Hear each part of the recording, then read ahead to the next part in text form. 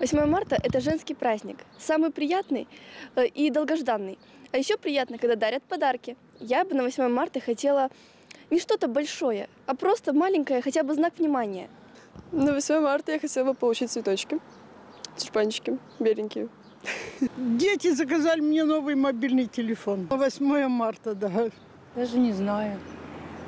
Наверное, букет красивых цветов, внимание детей. некому дарить. Так что ничего страшного. Это же не самое главное сейчас.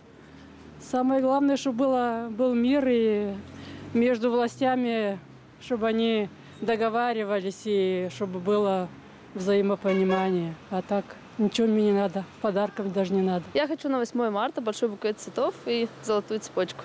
У меня все есть, мне ничего не надо. А Я бы очень хотела на 8 марта цветы. Это как-никак э, очень приятно. 8 марта, она имеет свою легенду. И поэтому, конечно, это хороший праздник для женщин, особенно для молодежи. А мы уже в возрасте, и мы как бы о будущем не сильно задумываемся, мы больше думаем о своих внуках, о детях.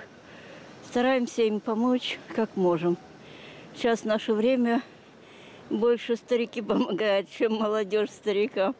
Э, Что хочу сказать? Здоровья вам, удачи, настроения, молодости, красоты и самое главное мира на земле, чтобы не было войны. Ну, на 8 марта я бы хотела что-нибудь э, вкусненькое, конечно, покушать.